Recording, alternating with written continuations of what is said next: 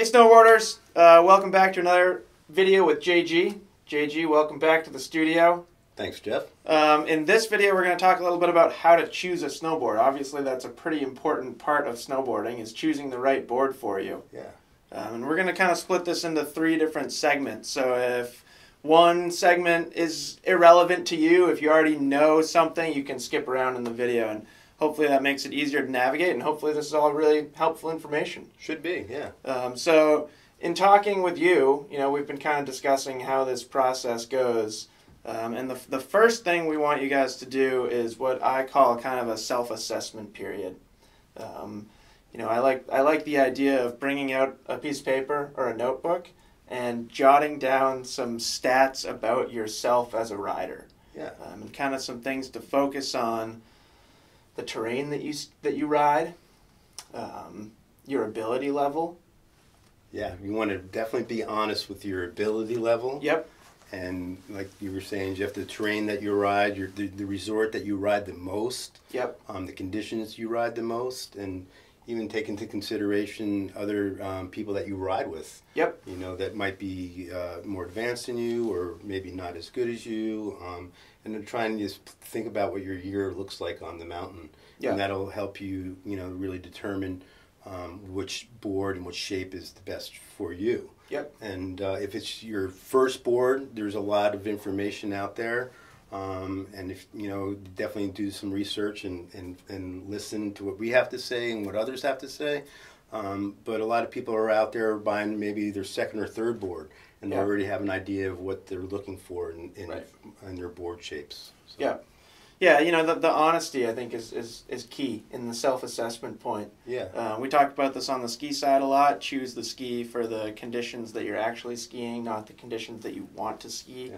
I think it's really easy for skiers and snowboarders to have this picture in our mind of like endless powder fields and Yeah. stuff like that, or you know, just perfect Yeah. conditions. And obviously, that's not always the case. So, Right. be accurate and be be honest with yourself. And a lot of it comes down to geographically where, where you're riding or skiing, and the, and you know, early season, a lot of places you're on uh, man-made snow, Yeah. and uh, other places early season you're on natural snow. Right. Um, so just be you know fair with yourself, and you might have a trip planned in the winter to go somewhere different. Yep. You know, and so that's always something to keep in mind as you're picking new shapes out for the season. Yep.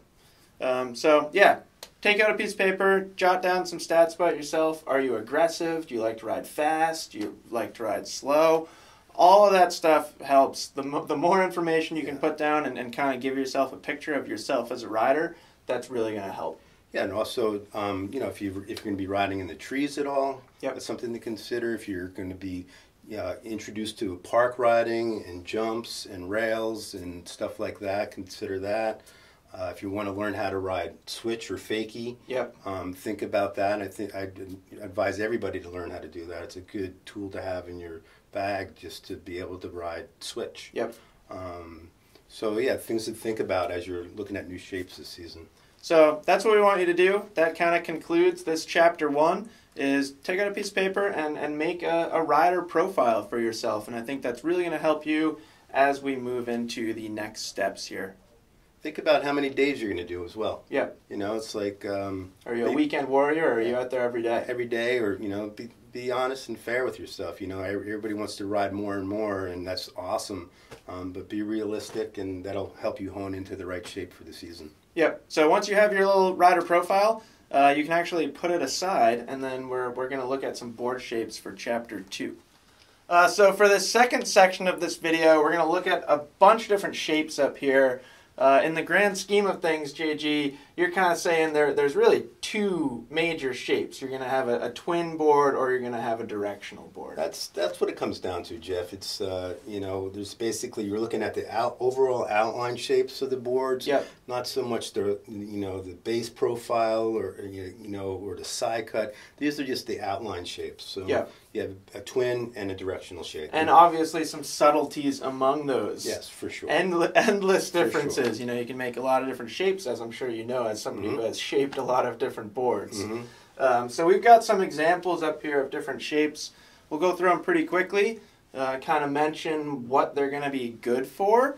Um, and then the third chapter of this video is we'll start kind of matching some rider profiles to actual boards, which to me is the most fun part. You got it. Um, so to start, we have two two full twin boards here, Mhm. um, but there are some differences between these two boards, right? There's Too, some right. There's some differences. You can kind of see the differences. Um, the Huck knife here is um, a twin-shaped board, and a twin means your tip and tail shape are exactly the same shapes. Yeah. Usually, the, usually this the uh, the stance pattern is centered on the board, um, which can you can also set your stance back on that pattern if you want. But a lot of twin riders are centered on the board, and what defines a twin is the same tip and tail length and the shape on the tip and tail. And you can see this arbor board here has a completely different tip shape Yeah. than the Huck knife, and it's the same shape on the tail. So the differences in these two boards is more of the outline shape. Um, then you get into more of like this is a cambered board, this is a rockered board, Right. And we'll get into some of that down the road a little bit. Um, but right now we're looking at outline shapes. So this is some an, an option. And the third uh, twin shape more rounded shape here. more. This is a women's model from Rossignol that is uh, a more traditional round shape on the tip and tail. And so these are kind of three different you know variations on twin tips, even though they all look different. The the same tip and tail on um, both ends.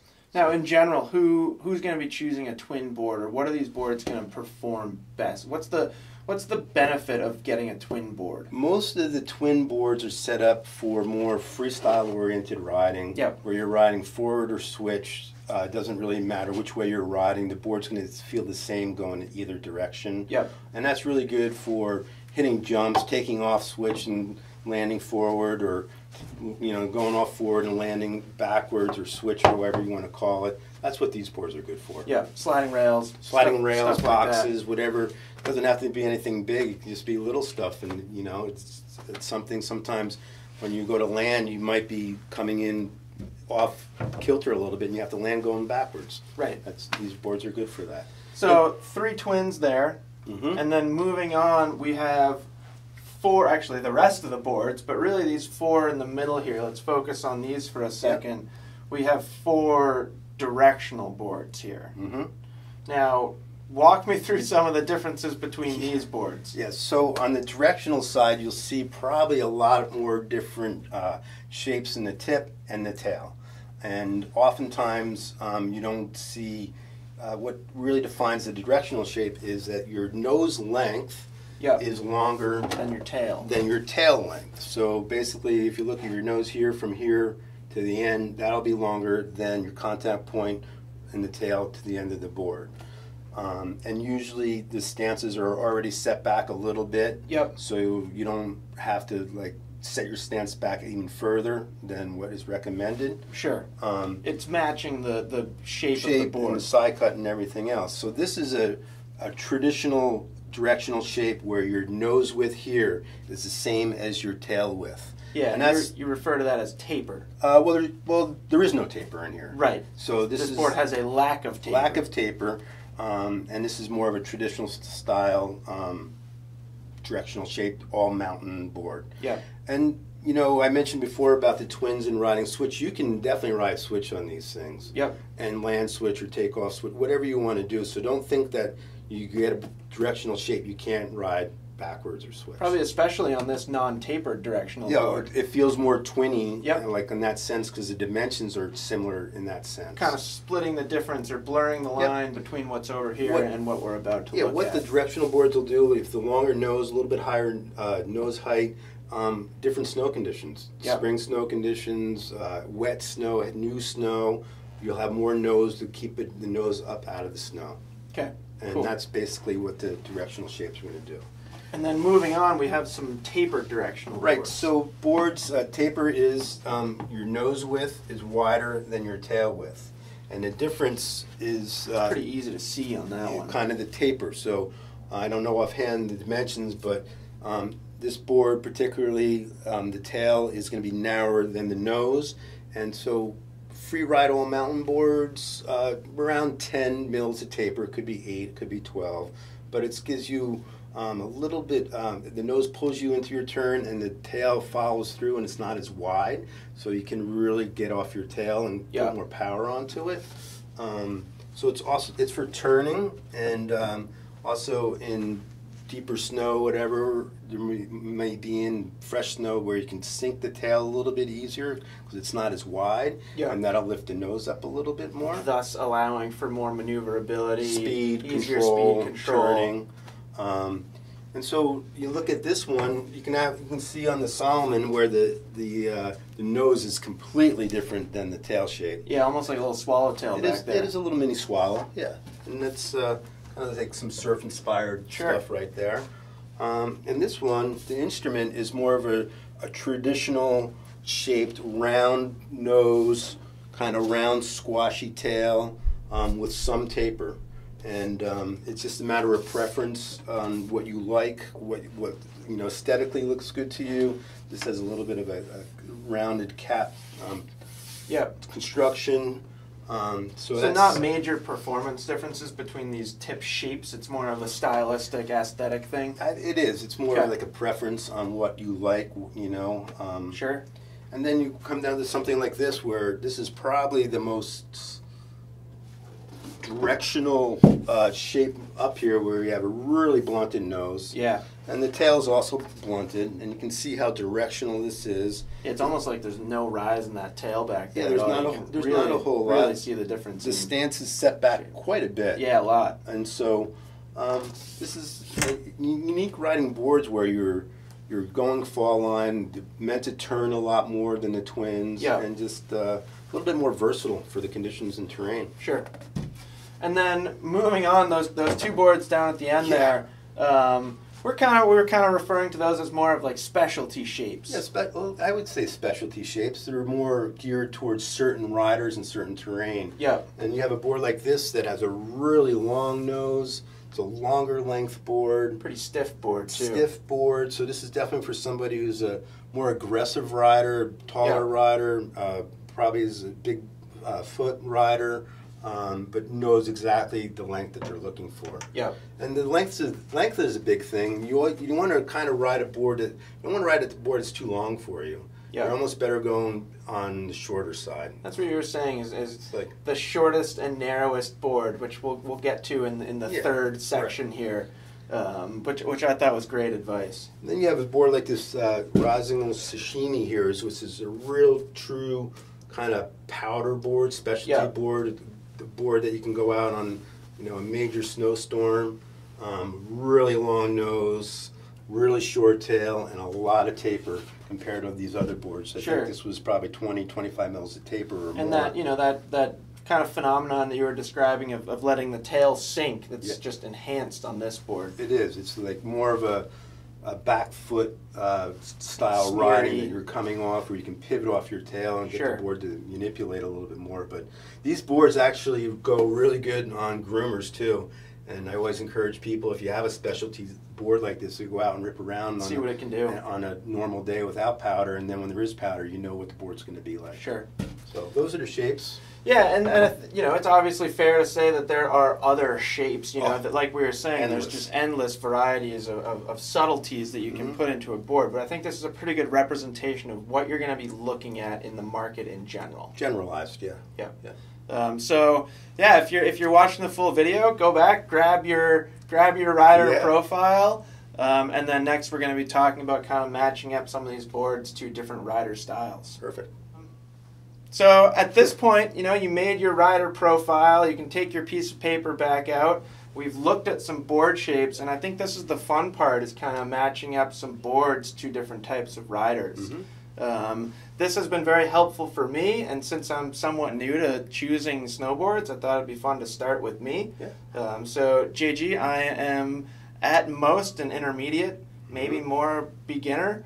Um, I will be undoubtedly staying on groomed slopes most of the time. I have a freestyle park background on the skiing side of things, so the idea of sliding rails and hitting some small jumps is, I think that'd be kind of fun. Cool. Um, I won't be going off trail. Mm-hmm. Uh, that kind of intimidates me a little too much Mhm. at this point. Mm-hmm. Um, and I'd love to just kind of work on my turning, you know, Okay. link link good carving turns. So Okay.